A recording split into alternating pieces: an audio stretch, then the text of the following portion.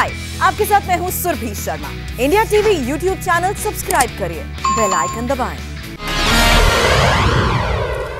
मुंबई में भी पेट्रोल और डीजल के दाम में आग लगी हुई है। मुंबई में पेट्रोल करीब सौ रुपए प्रति लीटर पहुँच गया और लॉकडाउन की वजह से मुंबई के लोग पहले ही परेशान हैं। उस पर से बढ़ती हुई महँगाई ने उनका हाल और बुरा कर दिया है। मुंबई में तेल की कीमतों में आग लगी हुई है।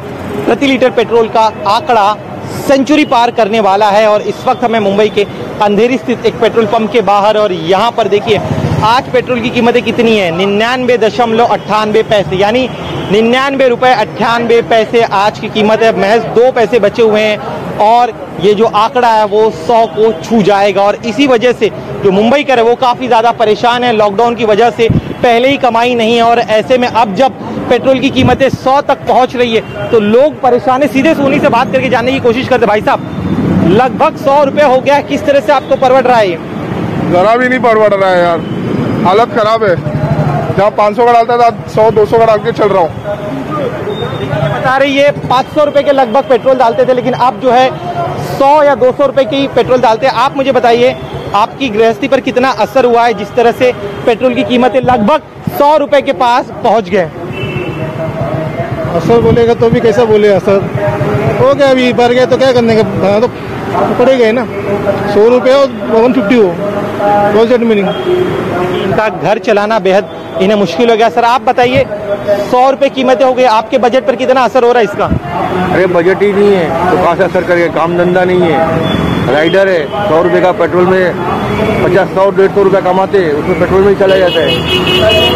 जोमेटो का राइडर है सोचना चाहिए सबको। सौ रुपये का पेट्रोल है मतलब नियर अबाउ हम लोग की तो लगी गई ना पूरी।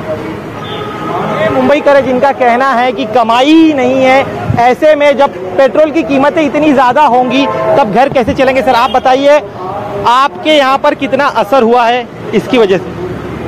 सौ रुपये हो गए पेट्रोल। कितना लेते हैं आप? पहले कितना लेते थे अभी कितना लेते हैं? अभी तो सौ रुपये का ही भरा था। इनके बस सर आप मुझे बताइए सौ रुपये के आसपास कीमतें हो गई हैं लॉकडाउन है मुश्किल है घर चलाना। आप पर कितना असर हुआ? है आपके बजट पर कितना असर हुआ है? बजट पे बोलेगा तो पूरा ही असर हो रहा है। काम धंधे का भी वाट लगा के रखा है। और कंपनी में भी चालीस टका तो काम बचा है। उसमें से चालीस टका पर लोग काम पे आ रहे जो काम पे आ रहे हैं वो काम पे आ रहे बाकी घर पे ही बैठे हैं।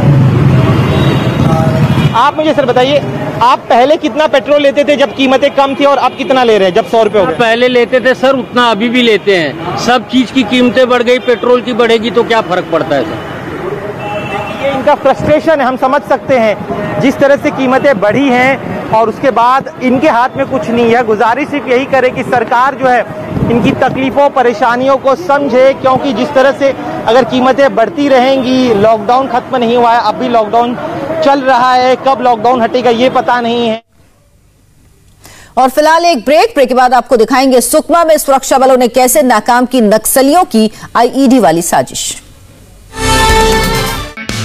Hi I am Surabhi Sharma खबरों से अपडेट रहने के लिए India TV YouTube channel subscribe करिए। साथ में बेल आइकन ज़रूर दबाएँ। जुड़े रहें इंडिया टीवी के साथ।